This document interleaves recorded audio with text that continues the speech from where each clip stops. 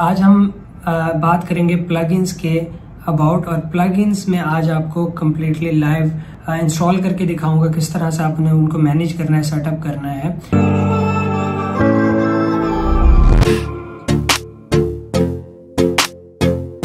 वालेकुम फ्रेंड्स आज हम आ, बात करेंगे प्लगइन्स के अबाउट और प्लगइन्स में आज आपको कम्प्लीटली लाइव इंस्टॉल करके दिखाऊँगा किस तरह से आपने उनको मैनेज करना है सेटअप करना है।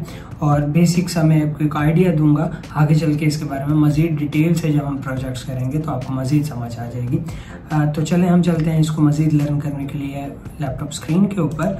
तो जी हम आ चुके हैं लैपटॉप स्क्रीन के ऊपर। आज मैं आपको बताऊँगा कि किस तरह से वर्डप्रेस प्लगइन इंस्टॉल करते हैं एक्टिवेट करते हैं और उनको फिर सेटअप करते हैं राइट तो अभी मेरे पास यहाँ पे एक मैं आपको छोटा सा एक आइडिया दे देता हूँ कि किस तरह से मैं इसको यूज़ करूँगा। तो लेट्स सपोज़ मुझे एक पेज बनाना है और पेज के ऊपर मुझे एक रजिस्ट्रेशन फॉर्म चाहिए right registration form let's say मैं कोर्सेज uh, के लिए इनरोलमेंट्स करना चाह रहा हूँ। तो उसके लिए मैं चाहूँगा कि मैं एक फॉर्म अपनी वेबसाइट के अंदर लगाऊँ। Uh, उस फॉर्म के ऊपर uh, मैं उन लोगों से मतलब जो इनपुट करने वाले हों नेम एड्रेस उनका जो है फ़ोन नंबर और बहुत सारी डिटेल्स जो है, वो मैं उनकी कलेक्ट कर सकूँ राइट तो इस पर्पज़ के लिए मुझे एक प्लगइन की ज़रूरत पड़ेगी तो उसको मैं किस तरह से सेटअप करूँगा? लेट्स सपोज़ अब ऑब्वियसली बात है, मुझे उसको सेटअप करने के लिए एक पेज बनाना पड़ेगा और पेज के ऊपर मुझे वो फॉर्म सेटअप करना पड़ेगा। तो सबसे पहले हम क्या कर लेते हैं? यहाँ पे एक पेज बना लेते हैं। ऐड न्यू करेंगे हम।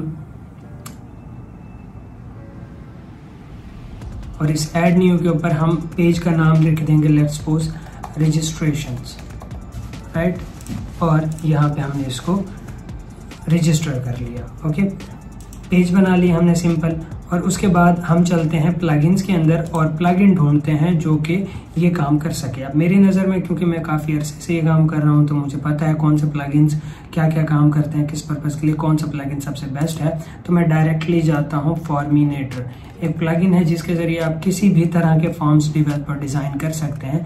लेट्स सपोज़ ये प्लगइन है, इसको मैं सिंपल इंस्टॉल करूँगा। इंस्टॉल करने के बाद आप इसको एक्टिवेट करेंगे। तो जैसे मैंने इंस्टॉल और एक्टिवेट किया, यहाँ पे देखें इस फॉर्मिनेटर का कंप्लीट सेक्शन आ चुका है। कोई भी प्लगइन आप इंस्टॉल करेंगे, उसका सेक्शन उसका ऑप्शन यहाँ पे आपको नज़र आ जाएँगे राइट तो मैं अब इसके अंदर जाता हूँ और मुझे एक फॉर्म बनाना है तो मैं सिर्फ़ डायरेक्टली फॉर्म्स पे जाता हूँ। फॉर्म्स पे जाने के बाद मुझे क्रिएट फॉर्म करना है और मुझे एक जो है रजिस्ट्रेशन फॉर्म डिज़ाइन करना है।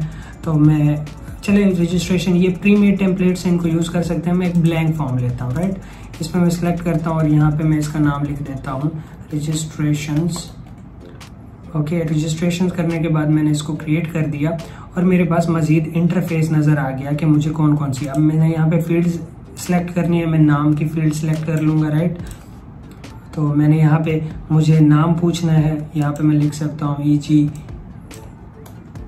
एहसान ठीक है? और फिर मैं एक और फ़ील्ड ऐड कर सकता हूँ कहता हूँ ईमेल पुट करेगा बंदा अपना राइट ठीक है, अब मैं इसको मज़ीद फ़ोन नंबर मतलब जो जो भी ऑप्शंस हैं, जो जो भी ऑप्शंस में या जो जो भी इंफॉर्मेशन मैं कलेक्ट करना चाह रहा हूँ, उस तरह की मैं सारी फ़ील्ड या उस तरह का मैं अपना डिज़ाइन अपने फॉर्म को डिज़ाइन कर लूँगा। लेट्स सपोज़ मैं यहाँ पे एड्रेस लेता हूँ उस बंदे का। और मैं चाहता हूँ कि जस्ट वो एड्रेस सिटी और कंट्री बस ये तीन चीज़ें मेंशन करें और क्या करें। उसके अलावा यहाँ पे देखें, अपनी पिक्चर भी अपलोड कर सके वो। तो मैं यहाँ पे एक और ऑप्शन लगा देता हूँ कि अपलोड योर पिक्चर तो ये जो डाटा है वो मैं कलेक्ट करना चाह रहा हूँ। तो मैंने इसको जैसे ही सेटअप कर लिया, मेरी रिक्वायरमेंट आप चाहें तो यहाँ से जो ऑप्शन आपको चाहें, उस तरह का ऑप्शन आप यहाँ से यूज़ कर सकते हैं। बहुत सारे ऑप्शन यहाँ पे मौजूद हैं।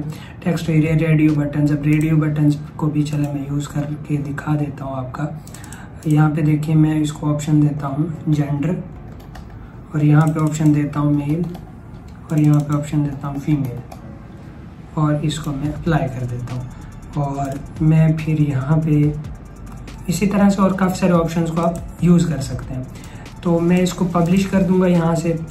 जैसे मैं इसको यहाँ से पब्लिश करूँगा तो मेरे, मुझे एक शॉर्ट कोड दे देगा। इस शॉर्ट कोड को मैं जहाँ पे भी कॉपी करूँगा, वहाँ पे वो फॉर्म शो हो जाएगा। अब क्योंकि हमने ऑलरेडी एक पेज बनाया और उस पेज के ऊपर ये फॉर्म ये शॉर्ट कोड मैं शो करवाऊँगा और उस पेज के ऊपर फॉर्म हमें शो हो जाएगा राइट तो अगर मान के चलिए गलती से आपसे कट हो जाता है तो दोबारा से आप ये कहाँ से हासिल करेंगे? वापस मैं चला जाऊँगा फॉर्म्स के अंदर। और देखिए यहाँ पे मेरे पास रजिस्ट्रेशन का फॉर्म मौजूद है। यहाँ पे गेयर आइकन पे क्लिक करूँगा कॉपी शॉर्ट कोड मैंने क्लिक किया और यहाँ पे मैं आ गया पेजेस के ऊपर। और यहाँ पे हमारे पास रजिस्ट्रेशन का फॉर्म था, उसको मैं पेज था, उसको मैं एडिट करूँगा। एडिट करने के बाद यहाँ पे डायरेक्टली वो मैं कोड पेस्ट कर दूँगा ओके तो यहाँ पे देखें वो कोड आ गया और इसको मैं अपडेट कर दूँगा। अब इसको मैं मज़ीद, इस पेज को मैं शो करवा देता हूँ मेन्यू के अंदर राइट तो यहाँ पे मैं मेन्यू के अंदर आ गया और यहाँ पे हमारे पास रजिस्ट्रेशन है, इसको मैंने मेन्यू में शो करवा दिया।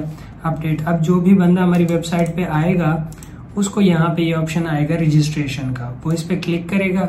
क्लिक करने के बाद उसके सामने वो फॉर्म आ जाएगा, जिसको वो फिल करेगा। अभी के लिए मैं यहाँ पे जस्ट बेसिक सा फिल कर देता हूँ ओके उसके बाद यहाँ पे मैं पिक्चर अपलोड कर देता हूँ। लेट्स से पिक्चर अपलोड कर दी मैंने, और यहाँ पे मैं सेलेक्ट कर लेता हूँ मेल और यहाँ पे सेंड मैसेज राइट अब यहाँ पे सबमिट का ऑप्शन होना चाहिए तो आप क्या कर सकते हैं, इसको एडिट मजीद करके, और यहाँ पे देखें अपेरेंस और बिहेवियर ये सारे ऑप्शन है। मैं अपेरेंस में जाता हूँ, और सॉरी फील्ड्स में ही जाने के बाद मैं नीचे की तरफ़ आता हूँ और यहाँ पे एडिट करता हूँ और यहाँ पे ऑप्शन लिखता हूँ सबमिट ओके तो यहाँ पे देखें, मैं इसको रिलोड करता हूँ तो ये चेंज हो जाएगा।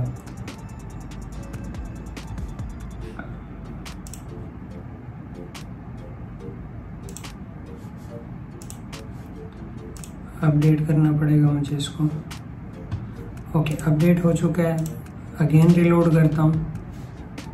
तो यहाँ पे देखें सबमिट हो गया।